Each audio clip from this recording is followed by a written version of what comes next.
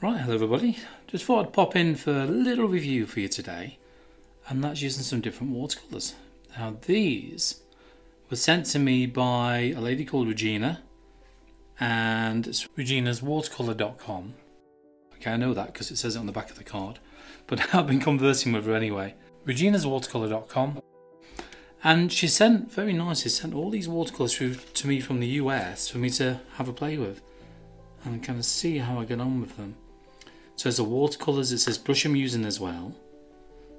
So I thought I'll give it a go and I'll tell you a little bit about them. So it's a very quick review on my findings with them. So I'm, you know, I'm very honest as people who know me know me will know I'm very honest with my kind of reports on anything that I talk about. Okay, so what was my findings so far? I've done all this painting of the hummingbird using these paints. Okay, so I thought I'll give it a try and do a complete painting using these uh, these new paints. Now, the paints are called different names. So on this colour chart, okay, because what you actually get in the kit, let's see what you get in the kit first of all.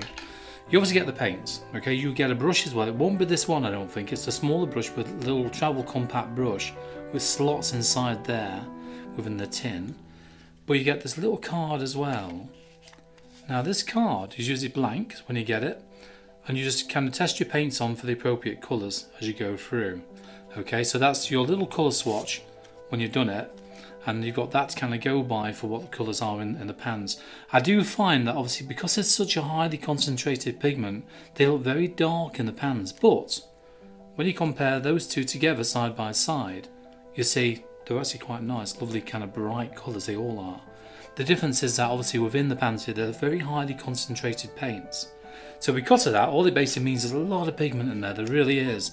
And the beauty about that is that they last a lot longer.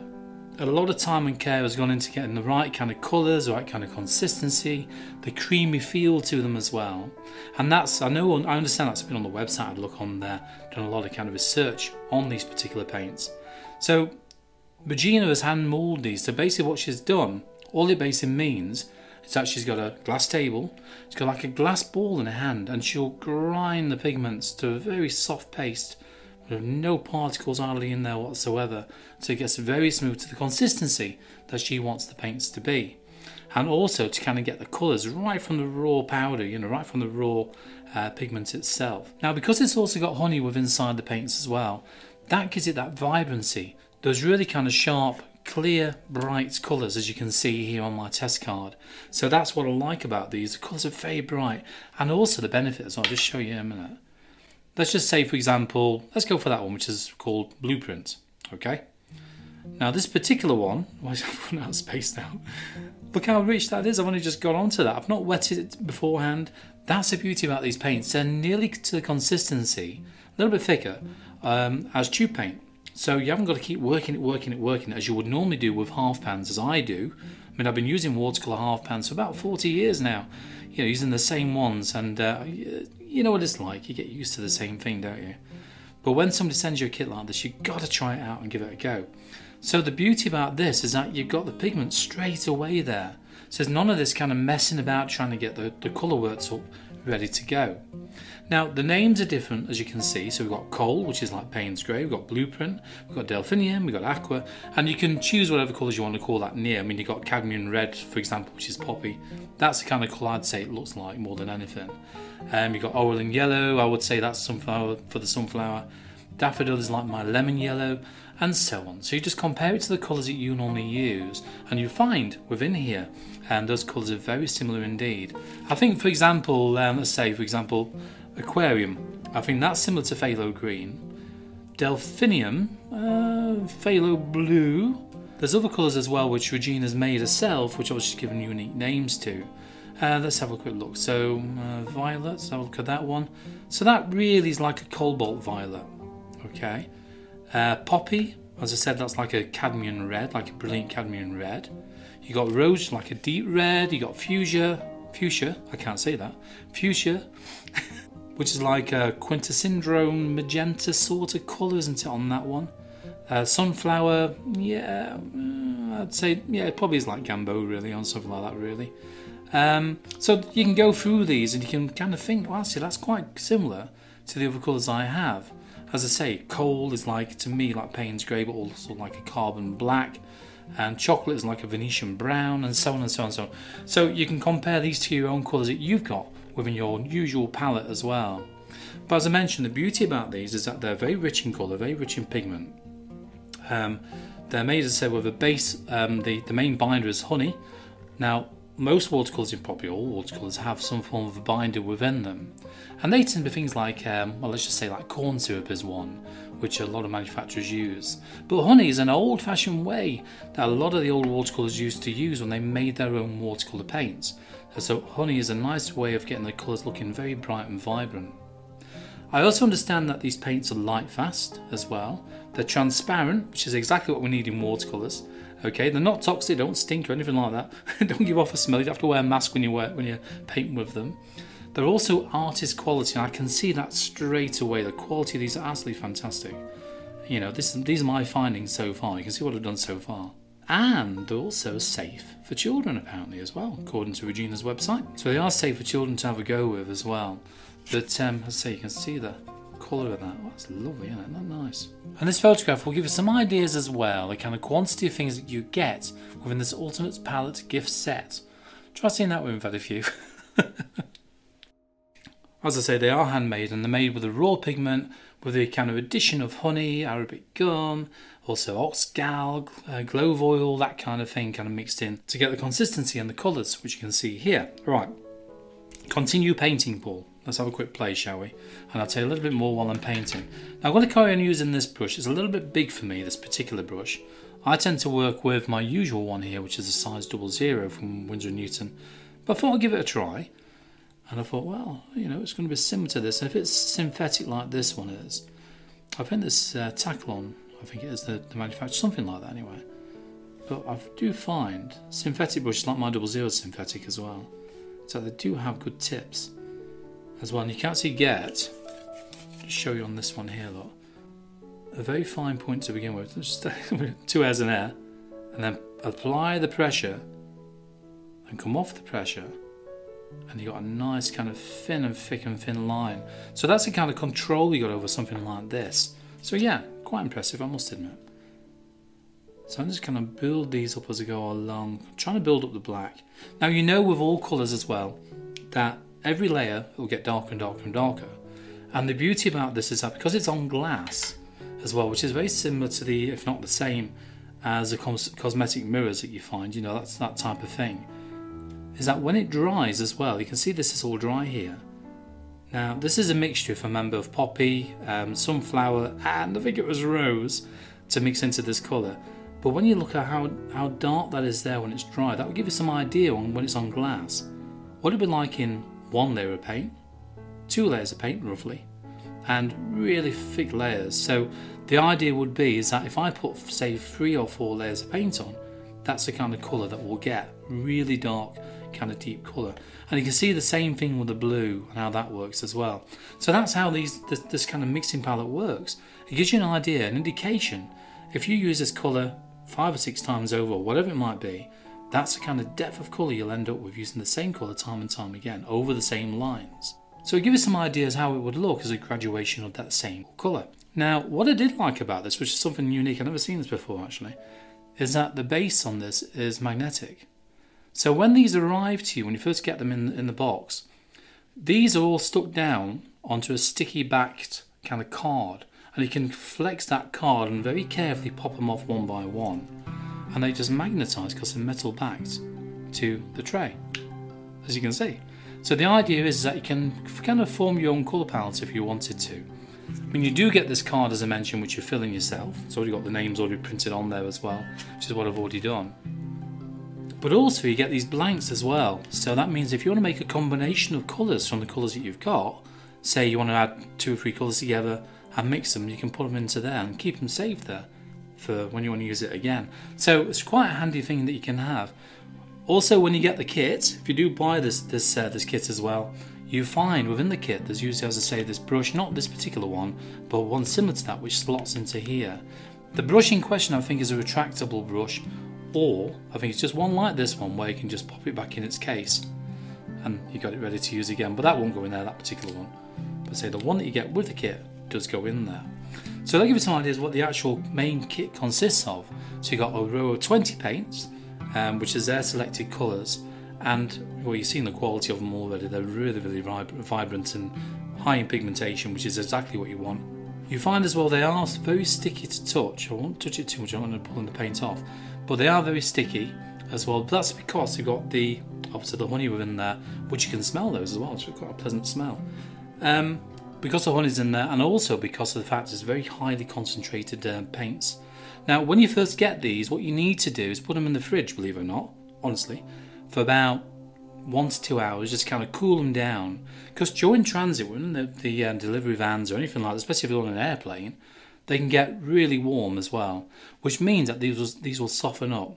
So when you take the, the plastic cover off, you have to make sure that the plastic cover comes off in one fell swoop and doesn't take the paints with it.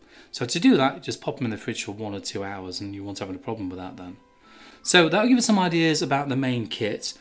Within the paints, you also get, look at this, that smart little kind of cloth bag. Very, very nice. Kind of pull type bag, which is lovely to kind of get with that as well. I do keep them in there. So this is the first time I've had to play with these today, so I thought I'd give a quick go. And you get some watercolour paper as well. Okay, now this watercolour pad is actually a block pad.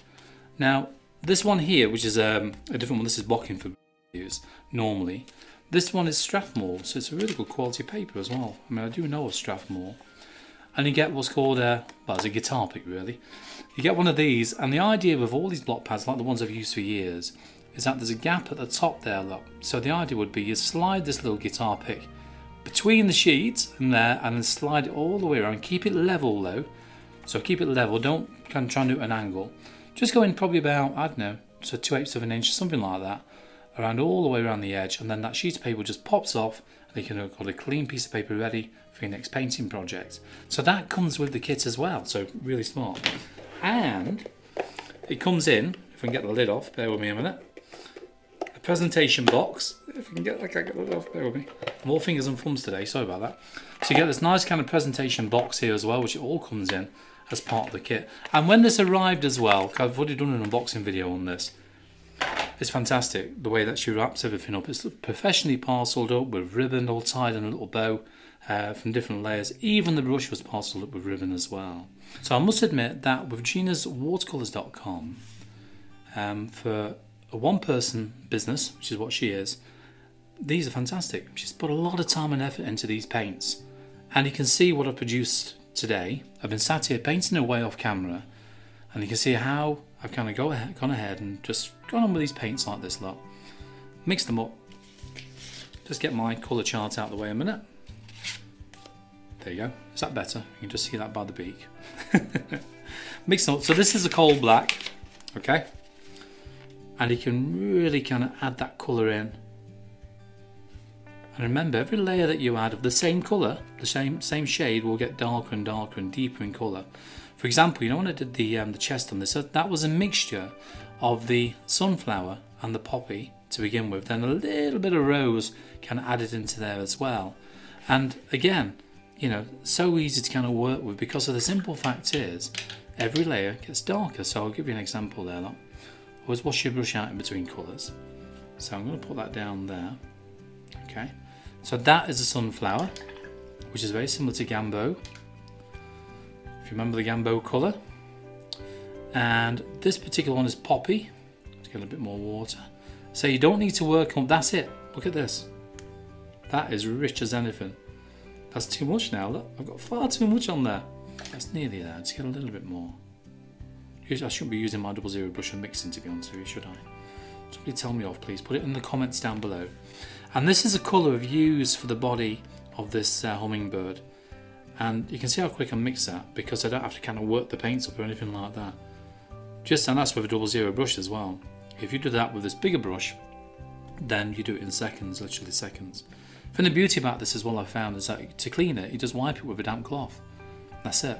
You could use tissue paper, so I could get a piece of kitchen roll, which, which I use here for lifting off, and just just wet it and then just wipe it all off, which is the beauty of it. But what I'd suggest you do instead of using kitchen roll, is use a little bit of um, I don't know, like a like a flannel, a damp flannel. Have a couple of them, so you've got a spare, and, and that way you can just simply rewash it, wash your flannel out in the sink, and you got it, you can use it again. You know, it's as simple as that, rather than just keep wasting kitchen roll all the time.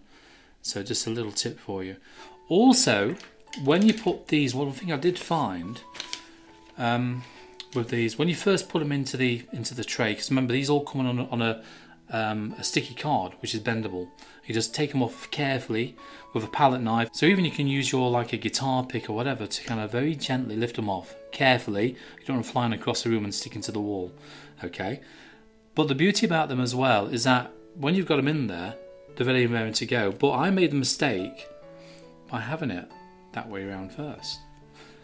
And the problem I had there is that when I went to mix some paint, like so, guess what I was doing wrong? Any ideas? I was putting my hand, so I've got paint on there. I was putting my hand on the paint, so I was going, no, no, no, again. You know, because of really high pigmentations, I say, and they are sticky. So I thought, no, we can't be doing that. So when you do this, I'd recommend that you have it that way around. Bear in mind I'm left-handed, okay? So obviously I have it on the other side of your painting surface. Have it that way around, at least that way you're not putting your hand in the paints. Yes, you might put it in the tray, but I'd rather have the tray stick to my hand than all them paints, okay? So just a little bit of a tip for you. Another thing you want to be careful of as well, which I don't do, is if you want the paint to be really thick, nearly as thick as what it's in in these pans here, then you find it will be still be a little bit tacky on the watercolour paper, okay? So if you had it really, really thick off there and put it onto here, one, it could give a shine to it, it will also be quite tacky, which means it will never dry, not fully, because it'll have a bit of a tack to it. However, traditionally watercolours are used loose, as you can see like this, you know, so you can just work with them like that. You can go thicker if you want to. You can go really thick, let's get a little bit more pigment. Alright, let's go even thicker. So you can go as thick as that if you want to, it's not a problem at all. It's when you go really, really thick and you know, you put a big thick dollop on there, that's when you find it'll still be a little bit tacky to kind of touch.